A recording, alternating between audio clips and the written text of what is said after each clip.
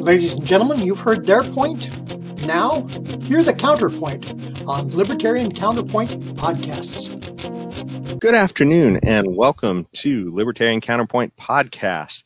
We're coming at you on November 27th, the day after Thanksgiving.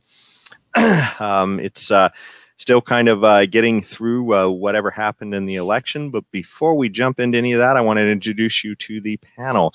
Up in our left hand corner, we have our Screaming Eagle of Freedom, Tim Evart, a, a pilot in the state of California. And up in our right hand corner, we have Leon, the word Brathwaite, last word in liberty. He is a retired engineer in the state of California. And my name is Jason McPhee, and I'll be your host today. Before we get into any of the topics, I just wanted to let you know that there is a way to give feedback. It's at counterpoint at libertariancounterpoint.com. Uh, if you're watching live, you can send questions that we might try and answer during the show. And uh, if you're seeing it uh, after the fact, um, we'd love to hear from you if you have any experiences related to the COVID lockdowns or um, you know the riots that have happened. Uh, if your business is hurt, lost your job, any of that kind of stuff. Um, also, if you're interested or if you're thinking about leaving California. Uh, we kind of want to get the perspectives of some of those people, and we've interviewed a few on the show already, and so we'd certainly be willing to consider that. So please send any of that to counterpoint at libertariancounterpoint.com. Okay, well, um, let's jump right into the situation. As we said, that uh, we're we're kind of uh, uh, not sure exactly how we're transitioning on the presidency at this point. It looks like Biden won, but there's still legal challenges, and um, Biden though has uh, started to talk about some of the stuff he's going to do. And one of the things that it sounds like he probably will do is to reinstate uh, something that uh, Trump canceled, which is uh, implicit bias and diversity training in a lot of state agencies. And uh, this is something that is kind of kind of interesting because Trump didn't really address this until just months before the election.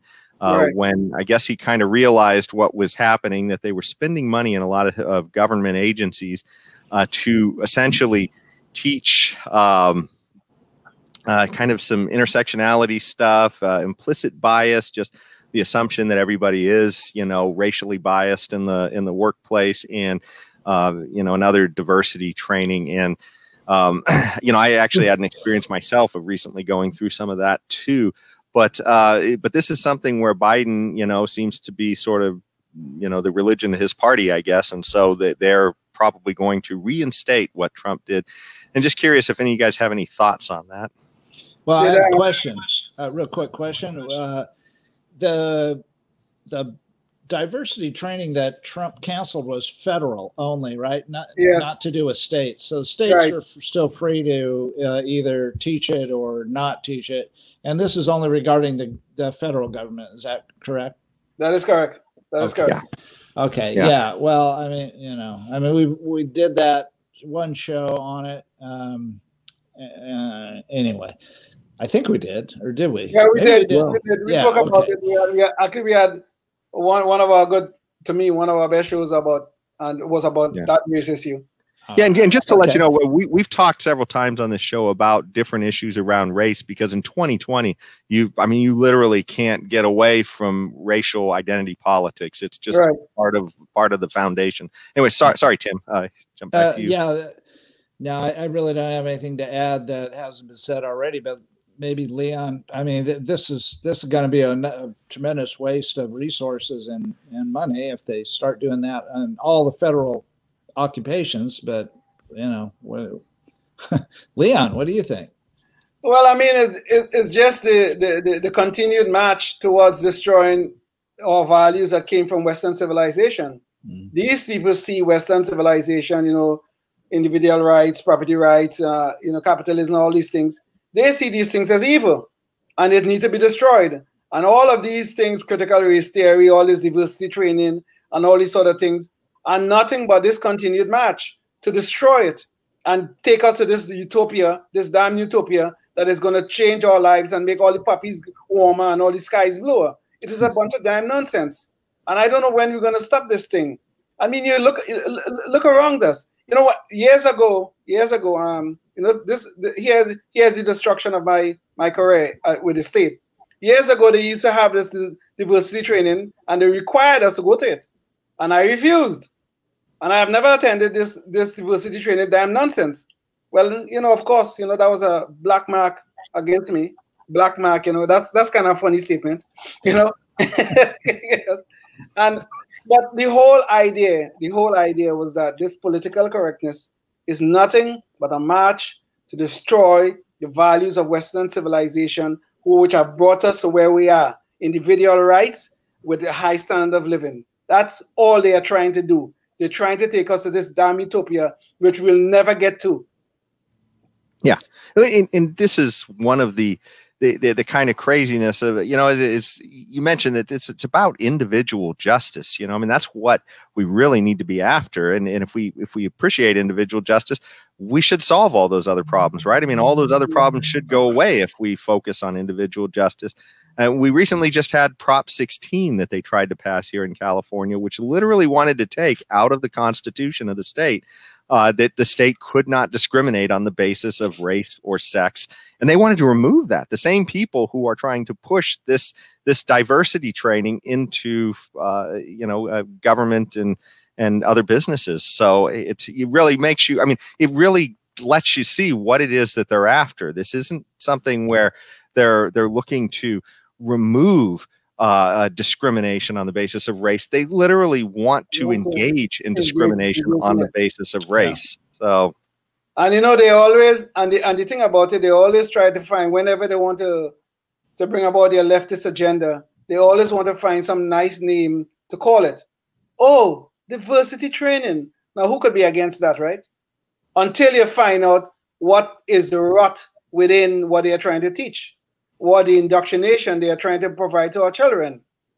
Until you find that out, you this nice, sweet name song so so nice and wonderful. Diversity training. We all should be sensitive to race. What the hell does that mean anyway?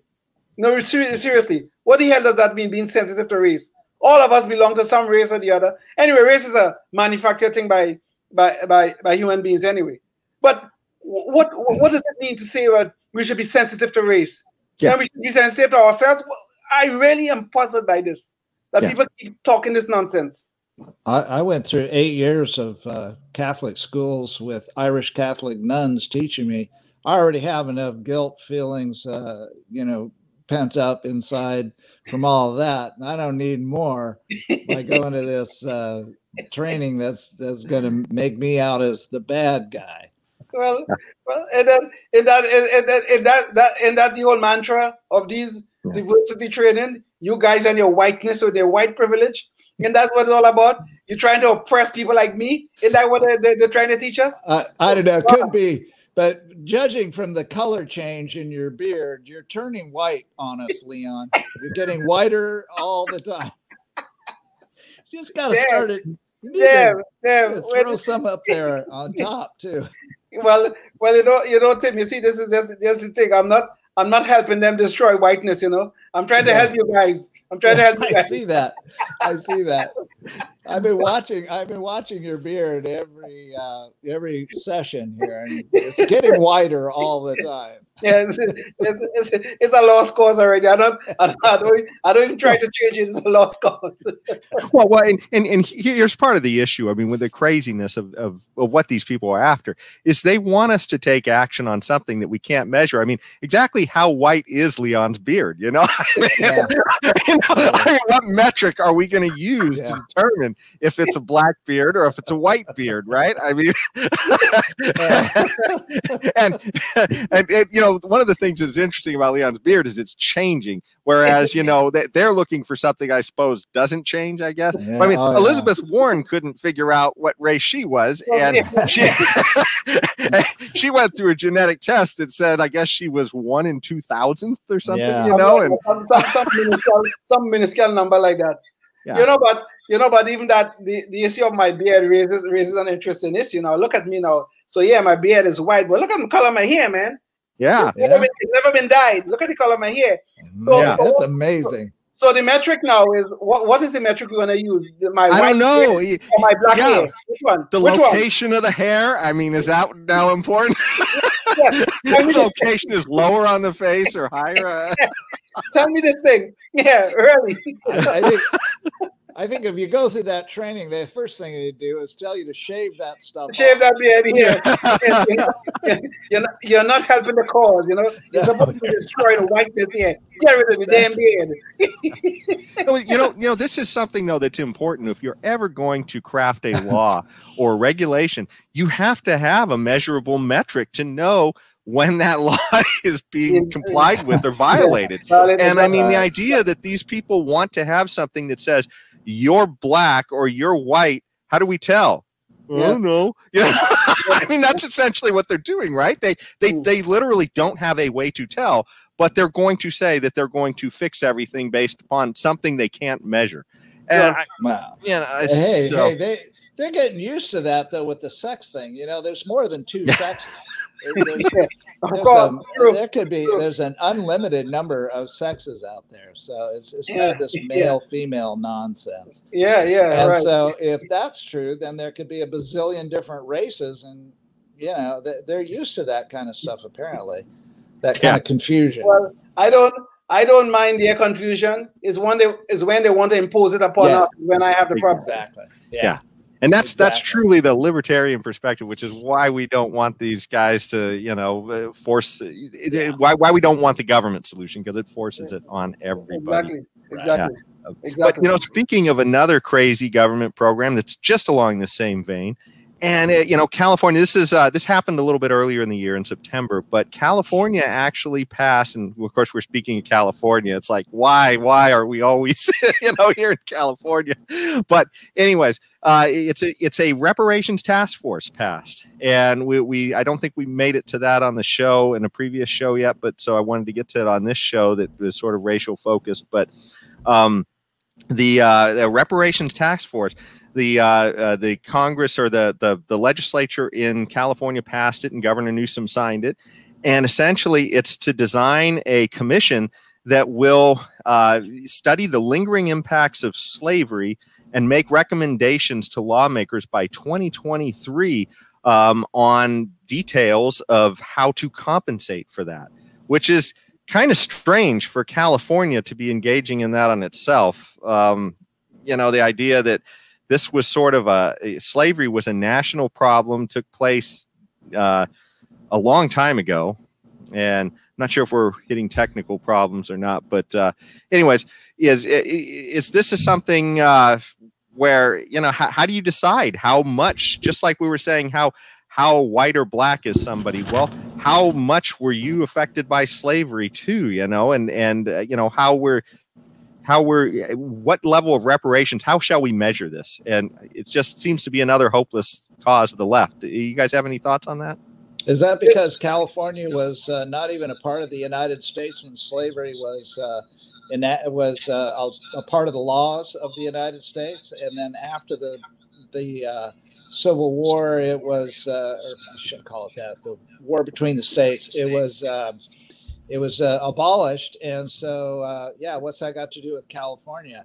If anything, uh, California ought to give itself back to Mexico, the people they took it from. So, uh, yeah, you know, if, if, if they're if, so concerned about righting the injustice, exactly, yeah, yeah, exactly. And, and yeah. so we just need to cede the state back to Mexico if we're we're going to be having any kind of talk about reparations. You talk about somebody that was stiffed out of a, some nice land. It's Mexico being stiffed out of California. So uh, there you go. Anyway, so what do you think, Leon? so this this bill this bill is nothing but is nothing but feel good for white liberals. That's all it is. Okay, and they're gonna make all of us victims. You know, all of us who uh, me they're gonna make me into a victim. I wasn't I wasn't born here. I do have yeah. slavery ancestry, but I wasn't born here. I have no connection to American slavery, none whatsoever. Okay, but they're gonna make all of us into victims, and they're gonna make all you guys, all you guys just happen to have the right who hue or the wrong hue, depending on how you look at it. They're gonna make all of you guys criminals by saying that you're responsible for the rest of us who happen to have darker hue. This yeah. is madness. This is madness incorporated. They're, because they're not, people. Go ahead, Tim. I'm sorry. Go ahead. Uh, no, I, am interrupting because uh, you know, they they would have given you a thousand bucks in reparations, but because of your beard, they got to cut that in half. It's only five hundred bucks. Unless you shave it off, then you get the full grand. Damn, Tim, you should have never told me that. Crap, no, come on. no, now I feel the injustice now. No, yeah, see, see that? Uh, well, you, you, you know what's so hopeless about this too is is how do you decide you know you, you decide to pay somebody today uh, maybe maybe a few generations got skipped on reparations and then there's going to be future generations that probably is this government program so probably they'll be worse off than they were after the program most likely. But but yeah. th- th- then what's going to happen then? I mean uh, essentially how are we assuming that giving one guy a pile of money is going to fix this. Certainly, we know the government's war on poverty didn't fix this. I mean, the government's war on poverty implicitly has always been to try and right wrongs and and bring supposedly different people up, you know, at different rates and all that. Uh, mm. And yet, when we look at the war on poverty, we're about where we started, minus trillions of dollars. mm. Well, you know what they say.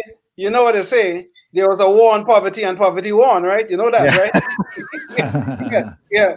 I, I, I mean, this is this is craziness. This is a second, a second, yeah, a second great society program. We're gonna fix all the wrongs of the past by by you know by acknowledging oh we certain people were enslaved and the impact have lasted all of these years and now we're going to give some people some money and everything is going to be nice and wonderful for crying out loud stop this damn nonsense please please. Yeah. Uh, well, speaking of other, you know, race related stuff that's going on that's kind of crazy. Um, uh, in uh, after the Biden won, uh, there was actually kind of a, a, weird thing happened. I believe it was here at a local school district in California, but um, a uh, the the wife of a school board president apparently was upset at the re- election results, and she tweeted. Um, uh, re- regarding Kamala Harris, all she needed to be qualified was a black, you know, and then P word essentially, and no brain needed.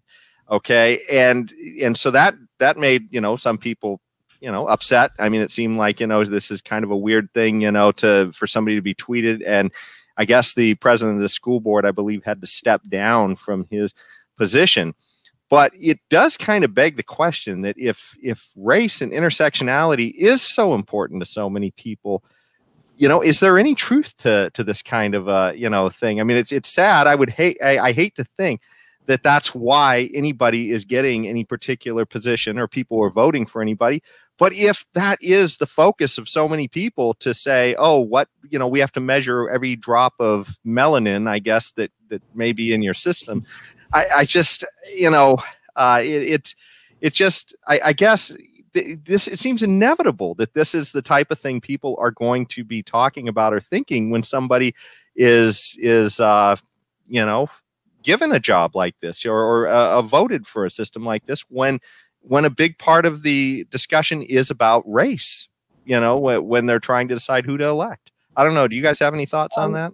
I, mean it, it is clear. I mean what, what that woman said was despicable there's no doubt about that but she have a free, free uh, her right of free speech now i don't I, I don't like what she said I mean, but we have spoke on we, we spoke about on the show about the issues surrounding the selection of Kamala Harris. I mean, this woman could have chosen her words a little better, I think, personally. But Kamala Harris was primarily selected because Joe Biden was trying to appease the um the, the black community, which voted for him in heavy numbers, who saved him during the um during the, the primary. And then he turned around and made two racist statements so he was stuck. He had to pick. He had yeah. to pick up a woman. Oh so yeah, yeah. For anybody who's not aware, yeah, Joe Biden during the campaign says, uh, "If you ain't voting for me, you ain't black." I mean, that's what he literally told people. So, right. and then and then he said, and then he said, uh, "Black blacks all think alike." Those those were not his words, yeah. but he did imply that they were monolith. So, but but but the point is though, whenever this is the identity politics that the Democrats play, they play it and they play it very well. Okay, that's how they get their votes. And look at and look at all the, the difficulties right now about fraud allegations that is ongoing right now as we speak. Where you think the fraud occur? In major cities that are democratic and primarily black. That's where that's where it is right now as we speak. So of course you're gonna have people making statements like this woman made. Well, it's an idiotic statement, it's despicable. But these things are gonna happen when you play in identity politics. How do you avoid that? And then everybody want to get upset because of the statement the woman made. And it's, it's worse, the woman made a statement and her husband is paying the price for it. Now talk about yeah. crap here. Okay, there's a, this, is, this is this is beyond this is beyond the pale now here that somebody else is paying for a mistake of of, of his, his wife in, in this particular case. But this is what identity identity politics produces. This sort of thing. Yeah, if, if you divide us by race, how is it possible then for anybody to avoid race in their analysis of anything if, if everything is mm-hmm. measured and divided by race? The exact point. the exact point. Yeah. So, yeah. And I'm glad you brought that up about the guy, the husband paying the, the price. I, am trying to still trying to wrap my head around that one. Where's that yeah. one come from? It's like it's like I wouldn't have resigned. You know, fire me if you want. Yeah, you know, right, exactly. Yeah, you, you want to fire me for something my wife tweeted or whatever. Fire me, but uh, you know, I wouldn't resign and just you know lay lay down like that. But anyway, there we have it. Yeah. Well, you know, there's uh, one other uh, uh, story I wanted to get to before we run out of time here. Um, during the riots, uh, you know, we're we're kind of going through some of the aftermath of all that. I guess to, I, I, suppose we'll be entangling some of the legal issues around that for quite a, a long time. But in Portsmouth, Virginia, there was quite a uh, um, a viral uh, viral in 2020, but there, there was sort of a viral story that went out of people who were pulling a statue down and a person got their head bashed in by the statue as it was falling and they were trying to pull some civil war statue i guess down and uh, in this uh, takedown of the statue was illegal. It wasn't something that was uh, in an organized fashion, which you know that that should be up to the right of a community if they want to vote to take something down. But this was not done in an organized fashion. This was something where literally a mob gathered and they tore the statue down. And it turned out that some of the people leading that mob were politicians, Democrat politicians in that community. Hmm. And, uh, and so the police chief, uh, after reviewing all the video, and she's a woman of color, this police chief, and she saw that there was a woman of color who was a, a politician who was leading this and so she charged her you know she she filed charges against the woman because this was an illegal action and now she's been fired, the police chief, for pursuing, you know, essentially uh, enforcement of the law. And that's in uh, Portsmouth, Virginia. I believe the police chief's name is Green, is her name. Mm. Um, just wondering if if either you guys have any thoughts on that. What happened to the uh, the person that uh, the Democrat that was leading the the riot? Charges dismissed, I believe. Charge Charges dismissed. Yes. Yeah. Oh, really? Were they? Okay. Yeah. Well, yeah, shucks. So. Uh, yeah, there you have it. Well, that sounds like. Um, well, it sounds like uh, what's the what's the term for some country that is uh, not got the rule of law anymore? It's just uh, every banana man, republic. A banana republic. That's what it sounds like. sounds like a banana republic. So uh, there you have it, Portsmouth. Good job. Great job. Go ahead, Leon this lawlessness is take is taking over our society now. Remember, we spoke about this situation where in um in Missouri, I believe it was in Louis, these people broke down the people's gate. They yeah, went on yeah. private property. The guy, the guy pulled out his gun to, to protect himself, and they end up charging the guy and his wife. Yeah. Now it's, yes. it's another thing here. All right, the police chief is doing her job, trying to put, um, stop the vandalism and all that kind of stuff and things like that. And now she's going to pay the price for doing her job. Okay? For doing her job. Lawlessness is becoming a part mm. of our society at an unhealthy rate. And George Orwell, 1984, is coming true. The good people are turning bad, and the bad people are turning good in the eyes of society. And we have to yeah. do something about this and do something about this soon. Otherwise, we're going to be in big trouble in this great land of ours. Yeah.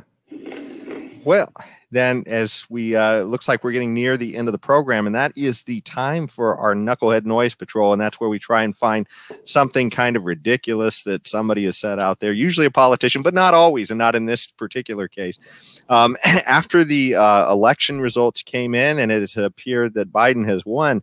Whoopi Goldberg was on her show, The View, and what she said to uh, Trump supporters was, uh, "Suck it up like we sucked it up." How dare you question the election? Uh, and then and she went on to say, uh, when you know who was elected four years ago, and she says that because this is uh, Trump derangement syndrome. She she's gone like four years without saying Trump's uh, name. But anyways, she said when you know who was elected four years ago, Hillary Clinton didn't say, "Hey, wait a minute, this doesn't feel right. Stop the count." She didn't say, "This isn't fair. I'm not going." She didn't say any of that. So all of you know, uh, all of you now, suck it up, suck it up like we sucked it up. And I'm thinking, oh, so we should just claim that the Russians were involved for four years. Yeah, yeah exactly. Yeah, yeah. yeah. is that, is that how to suck it up? And, I don't know. What and do all of this, and all of a sudden, clamor for the remove for the uh, the getting rid of the electoral college. Yeah, you know, that yeah, that kind of stuff too. Yeah. And of course, the whole time being right on board and united, united like good little puppy dogs. And in we're we're all going to be behind. We're going to put our differences into the past, and we're going to we're going to support our President Trump, who was legally elected. And so there were, you know, the us Democrats yeah, are going to be but not my president for four years. Yeah, exactly. Yeah. exactly. She won't even say his name for four years. Hillary, Hillary, I walked around, made every excuse in the book as to why she lost. None of it had to do with her being a horrible candidate and probably a horrible person. None of it had to do with that. But now that we have this situation, now Whoopi is trying to tell us we should suck it up, you know.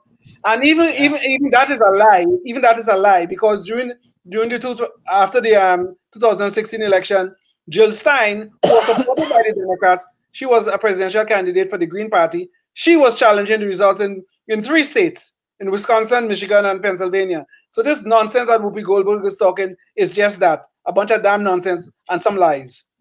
Yeah.